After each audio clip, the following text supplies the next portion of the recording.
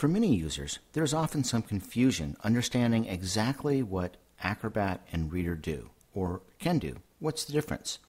And this is especially true when you mix in reader extensions or reader rights, and even more now because of the special attributes of Acrobat 11.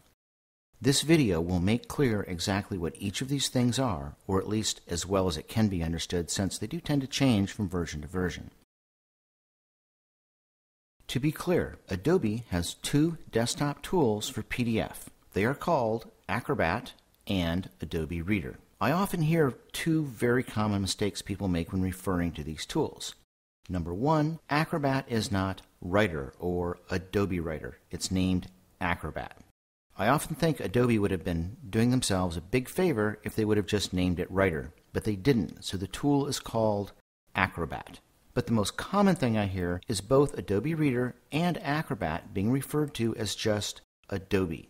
I know this sounds like nitpicking, but if we want to communicate clearly about a technical issue, then it is very important to use the correct names for things. Adobe Reader can be shortened to Reader when we know that we are talking about PDF, and specifically the Adobe product. But it is never Adobe by itself, and Acrobat is certainly never called Adobe.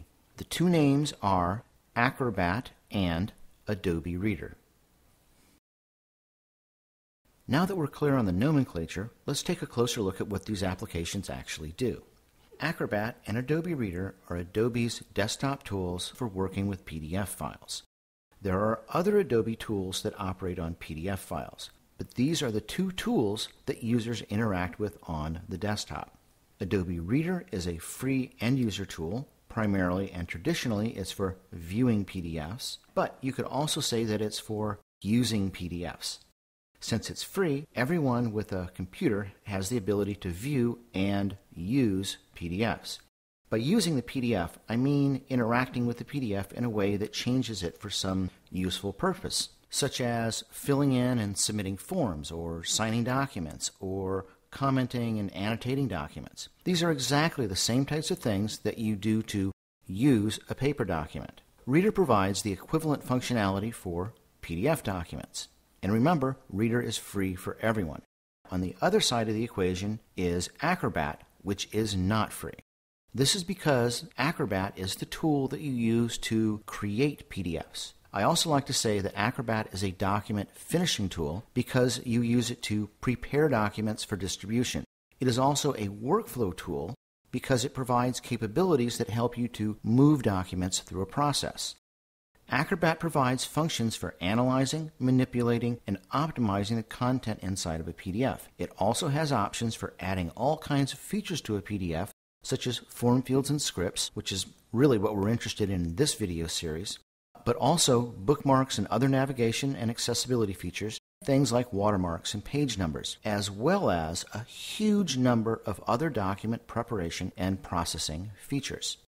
So, Reader allows users to view and use documents, whereas Acrobat is for creating and preparing and processing documents. Just to be clear, while Acrobat creates PDF files, it is not a tool for creating document content. Content is created in a content creation tool such as Microsoft Word or Adobe InDesign. These are document design tools. Acrobat is the tool you use to prepare the document for distribution. First, by converting the creation format into a PDF and then adding form fields, navigation, and other usability features to it. Acrobat is also the tool you use to manipulate documents in a workflow. For example, you'd use Acrobat for splitting out pages and then merging them into some other document, or pre filling form data, or extracting data for use in some other tool. There are all sorts of ways in which Acrobat can be used to process documents and the information those documents contain. There are two separate Acrobat variations the full or professional version and the standard version. As the name implies, the standard version includes a standard set of features for converting other formats into PDF and for adding usability features such as form fields and scripts. The professional version includes all of these features as well as a set of advanced features. The advanced features are mostly workflow tools, such as the form distribution and collection wizard, the document review tools, and the batch processing tools, as well as a set of print production tools and some other advanced features that just aren't available in standard. However, with every version of Acrobat, one or more advanced features are put into standard. The latest version of Acrobat 11, in fact, contains some or part of the workflow features I just mentioned, such as the forms distribution and the document review tools. The difference between professional and standard is smaller now than it has ever been before. Let's talk about Reader. There's an old saying among old PDF professionals it's a reader, not a writer. We used to say this because people were always complaining that they couldn't save their PDF files with Reader. We don't say it anymore because, as you'll see, it's not as true as it used to be. Back before Acrobat 11, there were a set of usability restrictions in Reader. For example, you could not save or submit a filled PDF form. You could not sign a document. You could not add comments to a document. You could not spawn a new page. Spawning is a dynamic feature for creating new pages. I'll be covering it in the how to videos later in this series. And finally, you cannot add file attachments to a PDF in Reader. There are also several other restrictions, but these are the main ones. It is very important to enumerate these because each one of these restrictions can be lifted by applying a special extension or right to the PDF. There is a special extension or right for each specific restriction. Think of the right as a special sauce that is put on the PDF.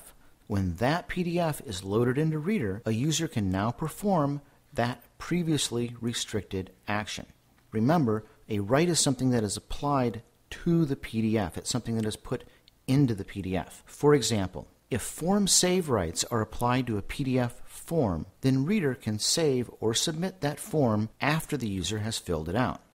The way this works is that the right or extension is really a digital certificate. If the digital certificate is invalidated, then the PDF loses the right. It is actually quite easy to invalidate a certificate. For example, performing a not allowed modification to a PDF. A not allowed modification is something that the PDF does not have a right to do. Both Acrobat and Reader do a very good job of protecting the user from doing something they should not do. They do this by turning off any feature that could cause a problem which means that when you open an extended PDF or a PDF that has rights on it in Acrobat, many of the Acrobat tools will be disabled. They are disabled because if you were to use that tool on the PDF, you would invalidate the right.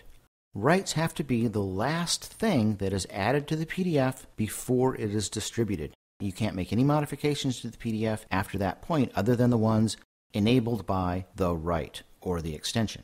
Non Adobe tools or third party tools are not so kind. Many non Adobe tools will destroy reader rights. This is a big problem when distributing rights extended documents. And another big problem with reader rights is they are not always compatible between versions of Acrobat. But fortunately, reader rights are no longer important for most applications. With Acrobat 11, we don't really have to care about reader rights as much as we used to.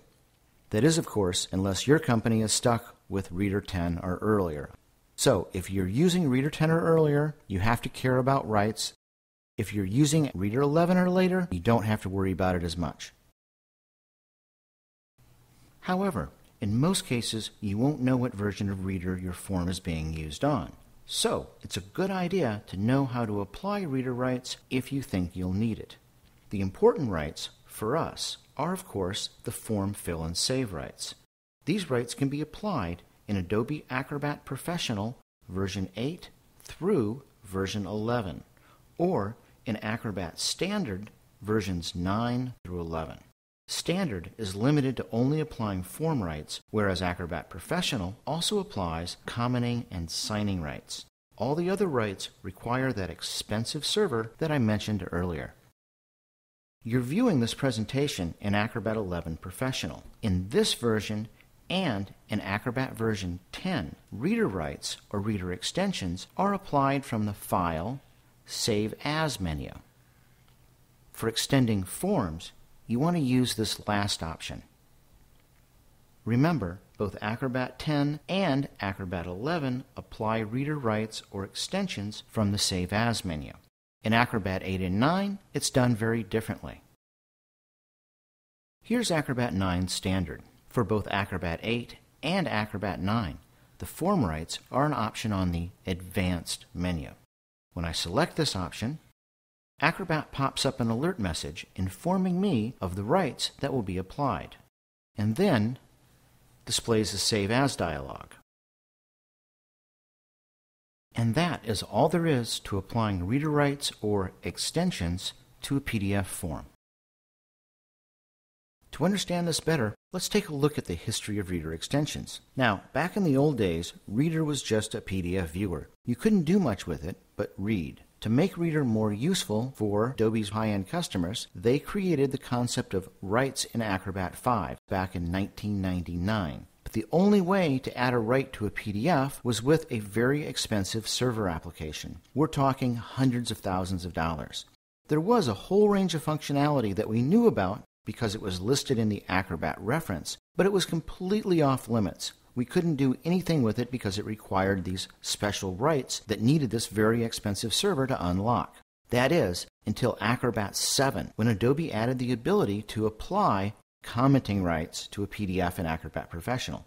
That was only one right, but it was one thing that we could now do that we could never have done before, which was add comments to a PDF in Adobe Reader. Adobe expanded on this idea in Acrobat 8 by adding form filling and signing rights. This was really big news. It was the first time that mere mortals like us could actually save and fill forms in Reader. You might well ask, why would Adobe give up so much that they had held on to so tightly for so long? And the answer is third party viewers. Other companies were starting to take a big chunk out of the Acrobat pie by creating cheaper products just for form filling and commenting. To take this a step further, they gave Reader 10 the ability to add notes and highlights and wet signatures to the PDF without any rights at all. This was really giving away something for free. A wet signature is a written or drawn signature. It's really just a type of drawing markup on the PDF. I'm not talking about the digital certificate kind of signature, but still, these were big things that Adobe was starting to give away. And you can kind of see where this is going, which is Reader 11. In Reader 11, Adobe lifted several of the restrictions for the most popular features.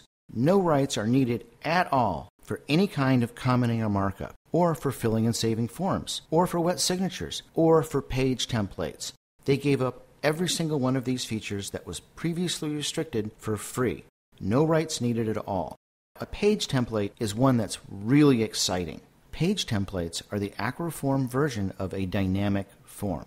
Page templates have been around for a long time, but most users have never seen them. They've never even known they existed. The reason Adobe added this feature to Reader is because they are trying to move users away from LiveCycle forms, which, if you watched the previous video, you'd know that LiveCycle forms are Adobe's dynamic forms technology, which is no longer available as a default in Acrobat 11 we'll never see the level of dynamic features that are provided by a LiveCycle form in regular PDF forms, but at least we do have page templates. You'll need to be a member to watch the videos to see how page templates work. Let's take a quick look at Adobe Reader 11. You're now looking at the exact same slide presentation, but in Adobe Reader. And like Acrobat, all the main tools are arranged in these four panels on the right hand side but the tools in Reader 11 are very different than the same panels in Acrobat 11. The Tools pane, for example, accesses online services. These are features that are not built into Reader. The Sign pane provides tools for applying a wet signature. Notice that the digital certificate tools are all grayed out. This is because the digital signature feature still requires a right or a reader extension.